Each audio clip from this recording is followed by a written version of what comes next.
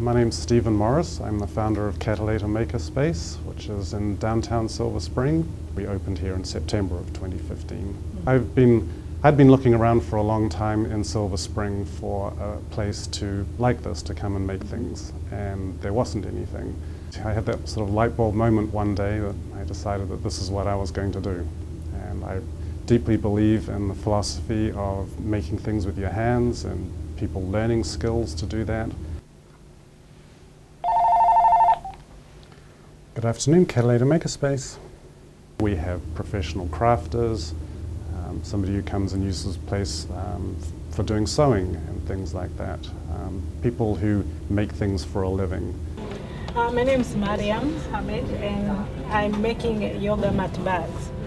I'm mixing uh, fabric uh, that is a kitenge cloth from Tanzania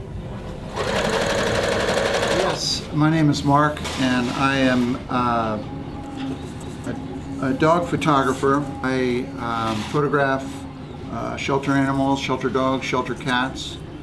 So it uh, brings me a lot of happiness to do this kind of work. We have teenagers come in here and they get engaged with 3D design, um, making all sorts of different projects.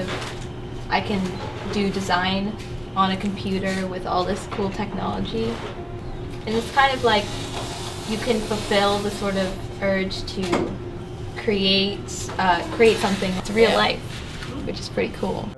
The evening phase comes in and people come and start working on their hobbies, their projects, the things that they dream about. I come here and you make something and it's you can sort of say, see, this is what I did, and it's just a different it's just you're just using a different part of your brain, working with your hands, making something, and it, it feels good. And there's a nice sense of community that that forms. So it's a lot of fun. I believe that. I believe that people can be creative, and it's just really a case of lowering those barriers that people perceive in themselves. Uh, my name is Ed Garner. I'm a local school teacher. I had a student who was uh, autistic, and he he couldn't follow more than one instruction at once, so I helped him make make this toy. This is one I've had for a long time, but it's one of my favorites. Uh, and it was uh, one of the most fun to make because it was uh, I was actually you know able to work with somebody uh, who really appreciated it. to have people with all sorts of different backgrounds and skills come here is fantastic, and to have those people kind of like looking at each other's projects and saying, well, that's pretty cool you know, could you teach me how to do that? I mean, those are the sort of things that, that form community and build community and, you know, so that's a lot of the magic that can, can happen in the makerspace.